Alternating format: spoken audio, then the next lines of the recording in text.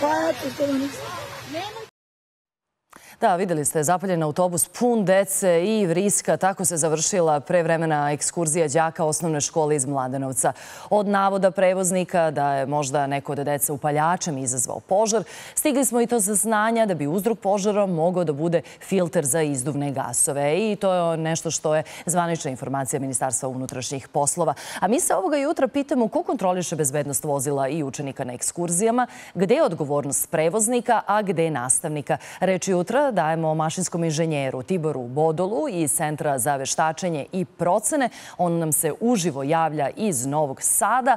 A sa nama je i profesor Aleksandar Markov iz Foruma Beogradskih gimnazija. On inače ima iskustvo sa vođenjem e, đaka na ekskurzije. Hvala vam što ste ovoga jutra e, sa nama. I Tibore, hajde prvo vas da pitamo. Vi ste mašinski veštak, između ostalog vaša specijalnost je i utvrđivanje uzroka požara. Čuli smo šta je Ministarstvo unutrašnjih poslova reklo da je reč o filteru. Kako dođe do ovakvog problema? Dobro jutro svima.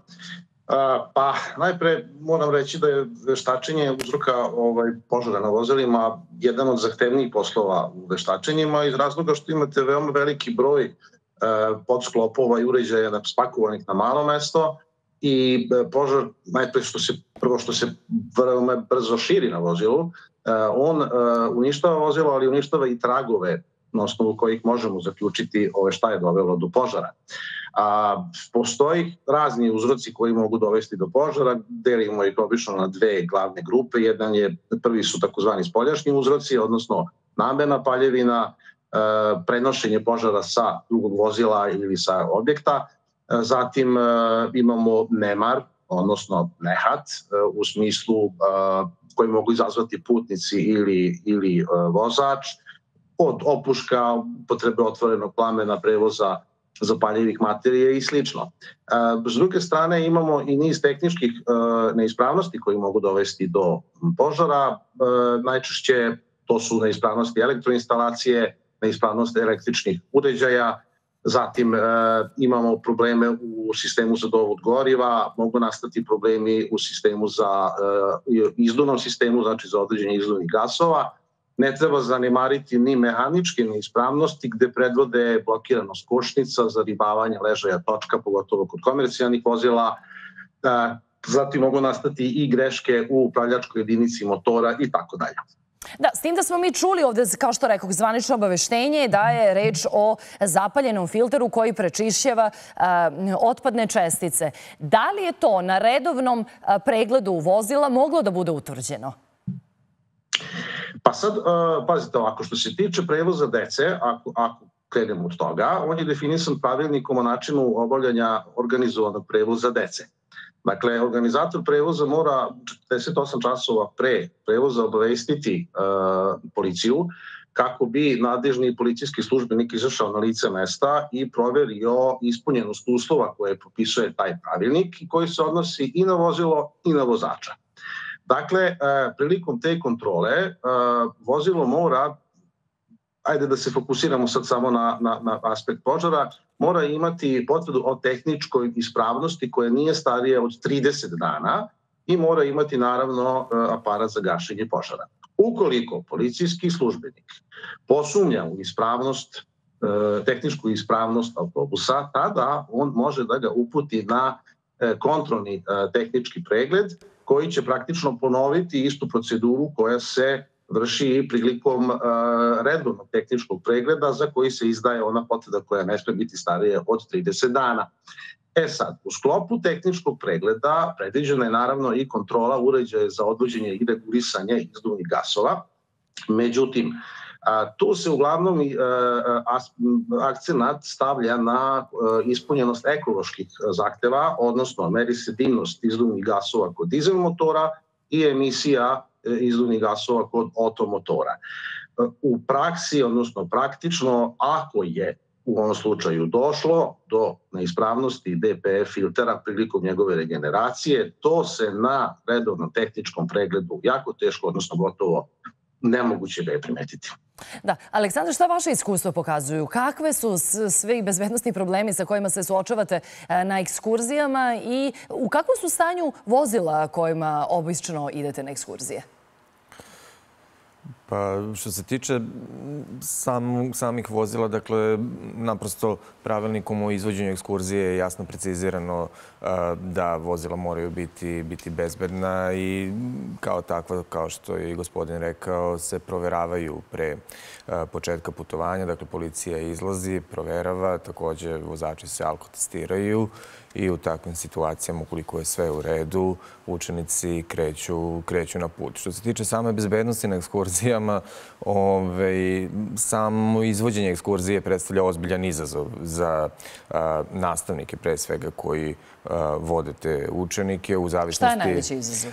Pa najveći izazov zapravo je uspešna realizacija ekskurzije u smislu odvesti decu i bezbedno, i bezbedno ih vratiti, vratiti nazad.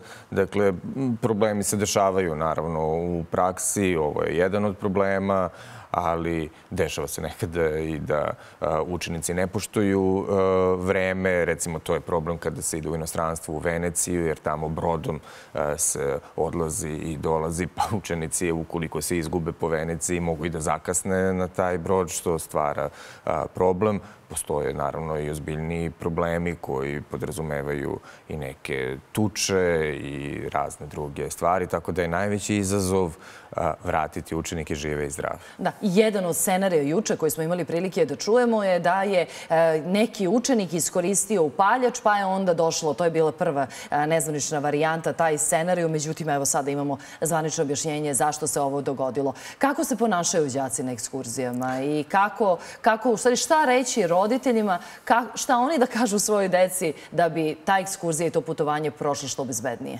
Da, pa bitno naglasiti da je pravilnikom izvođenja ekskurzije predviđen roditeljski sastanak, odnosno roditeljski sastanci pre realizacije same ekskurzije. Dešava se nekada da roditelji ni ne dođu na te sastanke ili dođu u malom broju.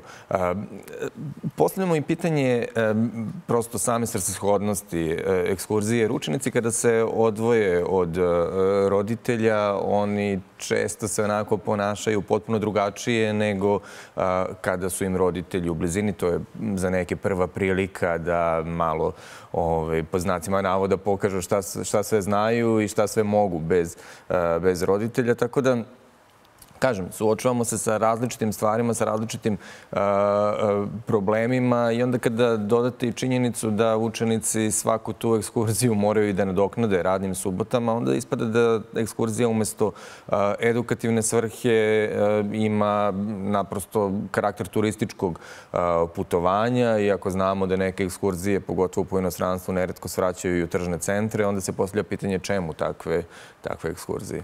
Da. E sad, pitanje za vas, Tibor, i kada smo se dogovarali za ovo gostovanje, vi ste rekli da je jedan od problema kada su autobusi koji prevoze đake u pitanju je stari vozni park. Koliko je to realna opasnost? Koliko su u proseku stari autobusi kojima đaci odlaze na ekskurzije?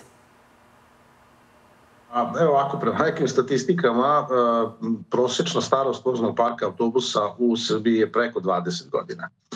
Kod putničkih vozila to je nekih 17, a predviđeni vek e, trajanja autobusa kao i putničkih vozila je oko 10 godina. To znači da e, se vozila projektuju da u tom periodu budu bezbedna i pouzdana u najvećoj mogućoj meri i sami materijali se tako i ovaj koriste. E, e sad, ovo, ovakav stari vozni park iziskuje potrebu za povećanim investicijonim održavanjem i tu se nalazimo u onom začaranom krugu. Kupuju se stari autobusi zato što nemamo novca, a onda nam opet treba više novca da bi tako star vozni park održavali, a novca i dalje nema.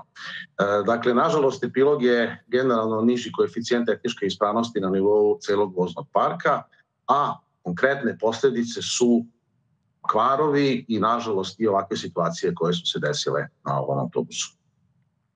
Da, i e, koliko, Aleksandra, ste vi uopšte obučeni da kad se desi ovakva situacija da reagujete? Koliko nastavnici imaju obuku? Dakle, evo, videli smo kako izgledao taj autobus juče u Vrnjačkoj banji. A, ili imate vi neku obuku? Pa za ovakvu konkretnu situaciju nemamo, ove, ali postoje te protivpožarne obuke koje su, koje više se odnose na ono što se dešava u školi, imajući u vidu da nastavnici vreme većinski provode u školi, a manje su, naravno, ređe su na ekskurzijama. Tako da ovakve situacije nismo prolazili. Hvala mnogo što ste ovoga jutra govorili za Probudi se.